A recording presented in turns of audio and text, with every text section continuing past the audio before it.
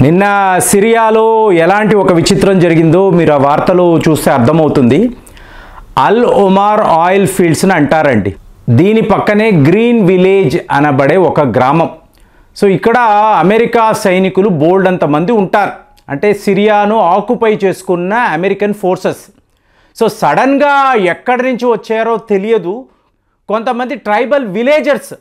So వీళ్ళు ఆయుధాలు పట్టుకొని ముందు మీరు ఇక్కడి నుంచి పారిపోండి మిమ్మల్ని తరిమి కొడతాము ఇక్కడ ఉన్నారంటే మీరు ప్రాణాలతో బయటపడరు అని చెప్పి ఈ అమెరికా సైనికులను తరిమి తరిమి అక్కడి నుంచి కొట్టడము ఇందులో ఏకంగా ఇద్దరు మరణించడము వీళ్ళు ఎటు వెళ్ళాలో తెలియక తుపాకులు పట్టుకొని అమెరికన్ ఫోర్సెస్ పారిపోవడము ఎంత ఒక విచిత్ర సంఘటన అంటే మనము ఈరాన్ ఇజ్రాయెల్ యుద్ధము అని మాట్లాడుతున్నాం. కానీ సడన్గా మీరు చూసారనుకోండి సిరియాలో ఇలాంటి ఒక ఇన్సిడెంట్. సో దీనినే మనం ఎలా చెప్పాలి? కర్మఫలము నువ్వు తప్పు చేసావు అంటే శిక్ష అనుభవించాల్సిందే. తప్పించుకోలేవు. చూడండి మనము మన భారత్ని పవిత్ర భూమిగా భావిస్తాం. ఎందుకు? ఎంతోమంది ఋషులు మీకు యోగులు ఇక్కడ పుట్టి పెరిగి ఇక్కడ నడిచిన వాళ్ళు మహాసిద్ధులు శివసిద్ధుడు విష్ణుసిద్ధుడు వీళ్ళందరూ కూడా ఇక్కడ నడిచిన ఒక పవిత్రమైన భూమి. కానీ బ్రిటిష్ వాడు ఏం ఆలోచించాడు? ముందు వీళ్ళని బానిసలుగా చేసుకోవాలి. తరువాత స్వతంత్రము ఇస్తాము అన్నాడు. ఇచ్చినప్పుడు ఏం చేశాడండి? ఒకవైపు పాకిస్తాన్ అనబడే తీవ్రవాద దేశము ఇంకొక వైపు ఈస్ట్ పాకిస్తాన్ అనబడే ఇంకొక దేశం మధ్యలో ఈ పవిత్ర భారతదేశం. అంటే ఏంటి స్వతంత్రము ఇచ్చిన తరువాత కూడా మేము వెళ్ళిపోయిన తరువాత కూడా ఈ హిందువులు అనేవాళ్ళు ఈ హిందుస్థాన్లో ప్రశాంతంగా నివసించకూడదు. వీళ్ళు తమ జీవన విధానములో ఎన్నో ఇబ్బందులు ఫేస్ చేయాలి వీళ్ళు ప్రశాంతంగా జీవించడం అనేది మేము చూడకూడదు అని చెప్పి ఆ రోజు బ్రిటిష్ సామ్రాజ్యము భావించారు. మరి కర్మ ఫలము ఎలాంటిదండి? ఇవాళ యూకేలో ఏం జరుగుతుంది? మనము ఒక ట్రావెల్ అడ్వైజరీ అనేది ఇచ్చాం. ఈ ప్రపంచంలో అత్యంత ప్రమాదకరమైన దేశము యూకే అక్కడ దయచేసి మీరు ఎవరు ప్రయాణము చెయ్యకండి. అక్కడ యాంటీ ముస్లిం రాయట్స్ అనేవి జరుగుతున్నాయి. చాలా పెద్ద ఇన్ఫ్లేషన్లో ఈ దేశము ఉంది. త్వరలోనే రెసిషన్ రాబోతుంది. యూకేలో పరిస్థితులు స్థితిగతులు అస్సలు బాలేవని మనమే స్వయంగా అంటే మనల్ని వాళ్ళు బానిసలు అనుకున్నారు. ఇవాళ యునైటెడ్ కింగ్డమ్ యొక్క పరిస్థితి మీరు ఒక్కసారి గమనించారంటే ఎటువంటి పొలిటికల్ స్టెబిలిటీ అనేది ఆ దేశములో లేదు. జీడిపి మెల్లమెల్లగా కుప్ప కూలిపోవడాన్ని మనము చూస్తున్నాం. దీనినే కర్మ ఫలము అని అంటాం. మరి అమెరికా వాడు ప్రపంచాన్నే మేము పరిపాలిస్తున్నాము అంటున్నాడు. వాడి కర్మ ఫలము ఏమిటి? సిరియాలో ఒక చిన్న గ్రామము అందులో ఉండే ట్రైబల్ విలేజర్స్ వాళ్ళు దొరికిన ఆయుధాలను పట్టుకొని మీకు అమెరికా యొక్క ఆముడు ఫోర్సెస్ని తరిమి తరిమి కొడుతున్నారు. ఎందుకండి? ఎందుకు ఇలా చెయ్యాలి అంటే సిరియా ఫ్రెండ్స్ ఈ సిరియా అనబడే దేశాన్ని గుర్తుపెట్టుకోండి. ఒకప్పుడు సిరియా పాలకుడు ఎవరు అంటే దశరథ్. అంటే మీకు ఐఎస్ఐఎస్ తీవ్రవాదులు ఒక మహా ఆలయాన్ని అక్కడ ధ్వంసము చేశారు. ఆలయం అని అంటున్నాను. ఎందుకు అంటే ఈ ఆలయము పేరు బాల్షామిన్ అంటారండి. ద టెంపుల్ ఆఫ్ బాల్షామిన్ అంటే ancient temples repeat. Ancient temple దీనిని వీళ్ళు ధ్వంసము చేశారు. ఇప్పుడు బాల్షామిన్ అంటే ఏంటి అంటే బాలస్వామి. అంటే ఆలయము బాలస్వామి పాలించిన వాడు ఎవరు? దశరథుడు. అంటే బాలస్వామి ఎవరు? మీకు శ్రీరామచంద్రుడు. మీకు రాముడికి చెందిన ఆలయాలు మీకు ఆరు వేల సంవత్సరాల క్రితము ఉన్నవి ఎన్నో మీకు అక్కడ కనిపిస్తాయి. అలాంటిది సిరియాను ఒకప్పుడు మీకు ఇలాగ హిందూ రాజులే పాలించారు అనడానికి ఎన్నో ఆధారాలు. పురుషోత్తమన్ అనే పేరు మీద రాజు ఉన్నట్టుగా వాళ్ళ చరిత్ర. పురుషోత్తముడు అంటే ఏంటి? పురుషోత్తమ రామ అని చెప్పి మనం చెప్తాం. అంటే ఈ ప్రాంతాలను అంతా కూడా ఒకప్పుడు ఇలా హిందూ రాజులు పాలించారు అనడానికి ఎన్నో ఆధారాలు. అలాంటి సిరియా ఇవాళ ఒక ఇస్లామిక్ దేశముగా ఉంది. ఆ ఇస్లామిక్ దేశం మీద అమెరికా వాడు దండయాత్ర చేశాడు. ఎంత దారుణమైన దండయాత్ర అంటే సిరియా ప్రభుత్వముతో ఎటువంటి ఒప్పందాలు లేవు.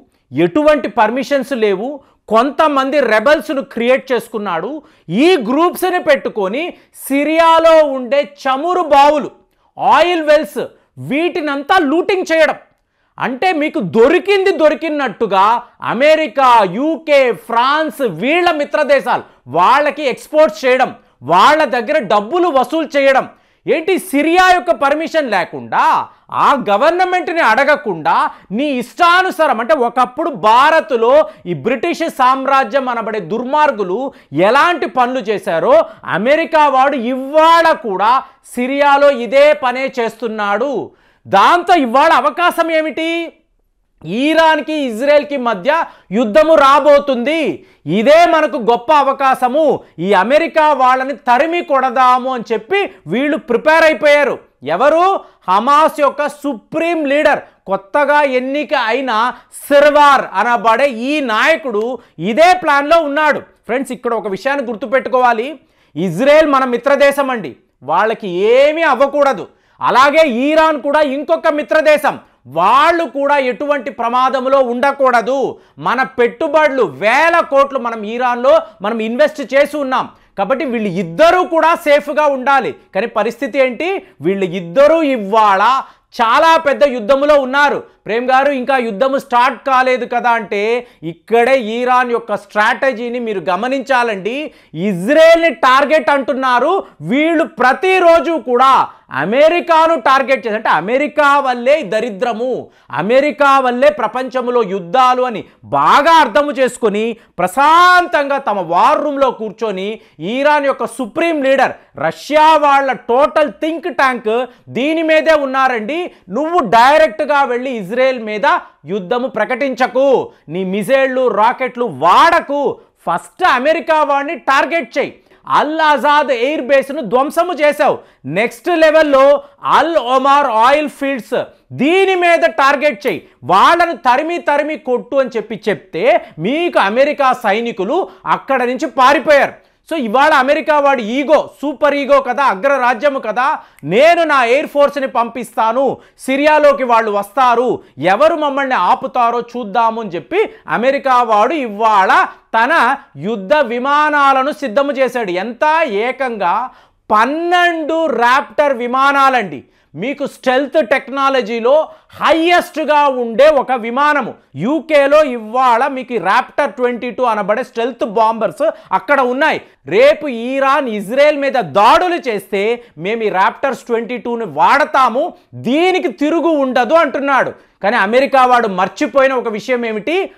అక్కడ రష్యా మీకు ఇస్కిందర్ మిసైల్స్ ఇచ్చున్నారు.